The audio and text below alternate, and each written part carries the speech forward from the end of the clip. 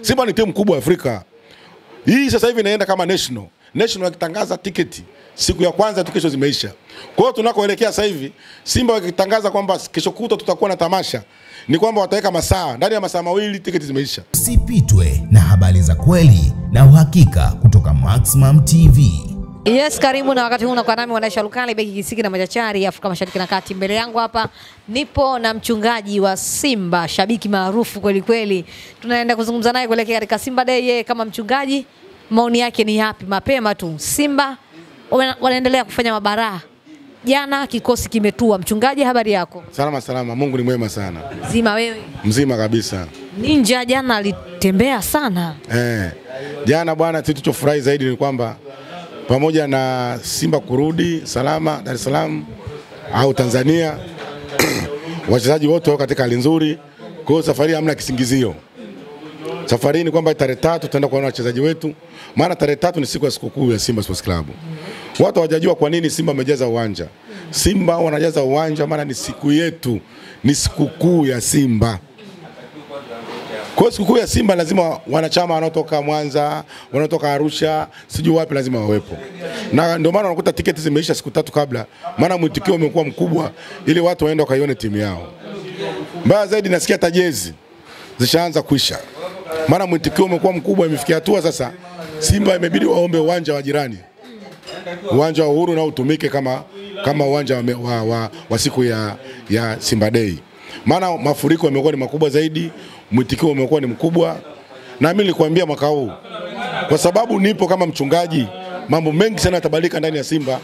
Ndio hayo umeshaona, na Yanga kwa sababu wanapenda kuiga vitu vingi. Hata hii siku ya Simba Day, siku ya Simba Day Yanga walikuwa wanatucheka zamani. Haiwezekani eti watu wa Simba wakawa na siku yao, lakini wameenda mbaya zaidi, nao wameiga, ndio wanaita siku ya nini, ya mwananchi. Kigoma wameiga kila kitu anaiga. mpaka sasa hivi kunasikia kuna mchungaji mwingine anaitwa mchungaji wa Yanga. Yani wote ni kuiga tu. Kwa hiyo Yanga wamekuwa ni watu wa kuiga, wa kuiga, wa kuiga. Mbaya zaidi swala hili la, la tiketi za Simba kuisha ni aibu kwa Yanga Afrika. Yanga wanajidai kwamba wana kikosi bora, ndio mabingwa watetezi, wao ndio kila kitu, lakini kwenye swala la kuwanja, kujaza uwanja wameshindwa. Na Yanga wao wamezoea mambo ya bure, na wao wanategemea mpaka Jumamosi tajiri wao anaweza akawaambia waingie bure, ndio hicho wanachosubiria. Kwa hiyo Yanga Afrika kitu ambacho wanakifanya kwa, ku, kwa kutokata tiketi hii inawaangusha klabu kubwa kama Yanga Afrika kufikia hatua wao tiketi kwa sababu washazo, na mimi nilisema siku nyingi hii swala la bure hili litakuja kuwagharimu siku zijazo, ndio hili linakuja kuonekana leo.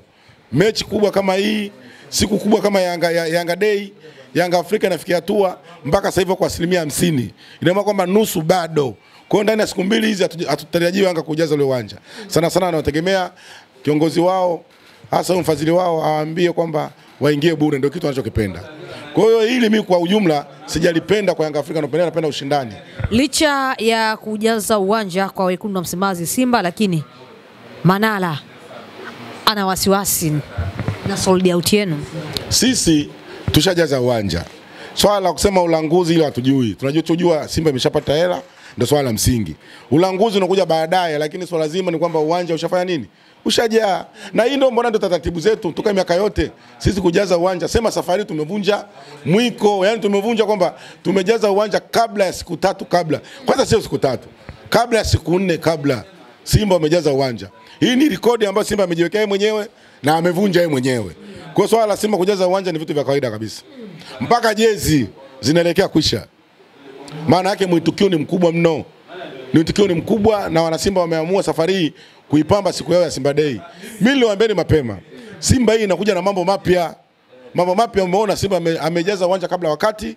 Simba imekuja na vijana wapya, wamekuja na kocha mpya, wamekuja na uongozi mpya. Kila kitu kipya ndani ya Simba Sports Club Simba raha. mpaka mchungaji naye ni mpya ndani ya Simba Sports Club. Kwa hiyo ni mambo mapya ambayo safari hii Simba watayaona ndani ya Simba Sports Club. Tunaenda kuiona Spain mpya siku ya tarehe tatu, tutaiona Spain mpya siku ya tarehe nane. Kwa hiyo ni watu wajipange tu, wasiondoke na matokeo yao. Mimi Yanga Afrika nawapa rai tena, wasiondoke na matokeo, wasije wakapigana uwanjani, maana wao watakuja na matokeo yao, watakutana na kitu kipya ambacho wao hawatakitarajia, maana waliotarajia wachezaji ambao wamewazoea safari hawapo, wanakutana na timu mpya ndani ya, ya Spain ya Bongo. yeah. Mchungaji Dula Makabila ameomba msamaha bwana mashabiki wa Simba. Vipi, umeupokea? Bwana ule bwana mimi simjui vizuri. Huyo huyo unamuita si Juma Makabila. Nimesikia tu jana kwenye mitandao washabiki wa Simba wamtaki. Tunajua kama mambo ya muziki na mimi tofauti. Lakini kumbe kuna maneno nimeyasikia kwamba huyo Juma Makabila amewahi kuikataa Simba siku za, za, za nyuma huko kwamba haitaki Simba na haipendi. Kwa hiyo unaona washabiki nao wametia kwamba wamtaki. Kwa hiyo kama wamtaki hata kama muombe msamaha akae pembeni. Haya ndio madhara haya. Siku zote unavyokuwa wewe ni blandi, unavyokuwa unakubalika kama mwanamuziki, usiwe na upande. Ukishakuwa na upande, haya ndio matatizo yake. Sasa angalia sasa. Leo hii watu wanakwambia uje kwenye tamasha, washabiki wanakukataa. Hii ni aibu. Kwa hata kiomba msamaha kwamba washakukataa. Wewe Juma Makabila sasa hivi ujipange kwa kitu kingine. Hata kama utakuja siku ya Simba Day watakusomea. Hao washabiki na Simba wa Simba na Yanga wana adabu, mimi nawajua. Kwa hiyo kama wamekukataa wewe kapumzike tu. Ndio hiyo madhara haya ya, ya, ya kuongea ongea. Ongea weka na akiba. Sasa yeye alimaliza kwamba haitaki Simba. Simba ni timu kubwa Afrika. Hii sasa hivi inaenda kama national. Wakitangaza tiketi siku ya kwanza tu kesho zimeisha. Kwa hiyo tunakoelekea sasa hivi Simba wakitangaza kwamba kesho kutwa tutakuwa na tamasha ni kwamba wataweka masaa, ndani ya masaa mawili tiketi zimeisha. Hii ni funzo na kudhihirisha kwamba Simba ni timu kubwa Afrika. Hii ndio maana yake. Yanga Afrika mpaka wanaona aibu, wanajaribu kujitetea oh, ulanguzi. Sasa ulanguzi zimeisha, hata kama ni ulanguzi zimeisha. Ni mbona Manara anajitetea eti wamelangua? Sawa, wamejilangua, lakini si hazipo, maana yake zimeuzika. Simba kuna raha bwana. Ai, hiyo ni mwanzo tu. Wale watajikanyaga kwa mengi bado. Bado tarehe nane, bado kishukutwa.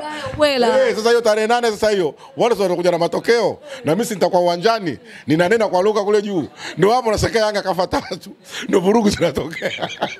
na Yanga wana dogo. Kwa sababu Yanga wanajiaminisha kwamba wana timu bora. Wana timu nzuri. Sasa wakaja kuchukua tatu mtungi pale na mimi nikiwa taifa pale. Pale nje mimi nitaongeje? Sitaongea kwa sababu nitakuwa sina sauti. Eh, kwa kushangilia magoli. Kwa sababu system ya magoli kushangilia ni matatu.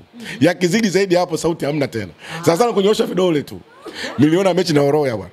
Mechi ya Oroya bwana, mechi ya kwanza, goli la kwanza watu wameshangilia. La pili, la tatu, la tatu wako wananyosha vidole tu. Sauti imefanyeje? Imeisha kwa sababu system ya magoli ni matatu. Yakizidi zaidi ya matatu huwezi kushangilia tena. Sana sana tunapia tu. Hey, hey, yani furaha ime, imezidi. Kwa hiyo siku ya ya ya ya, ya, ya, ya ngao ya jamii tutakutana na Yanga Afrika wajipange. Maana wanaenda kukutana na Spain ya Bongo. Wachezaji vijana wenye spidi ya ajabu, wenye pasi fupi fupi. Yeah. Wanakuambia wewe uogopi mchungaji Young Africans. Wewe mkwala tu. Wale si watu wazima. Watu wazima ndio mikwala yao. Wanakuambia uogopi si watu wazima. Sasa wanakutana na vijana wadogo.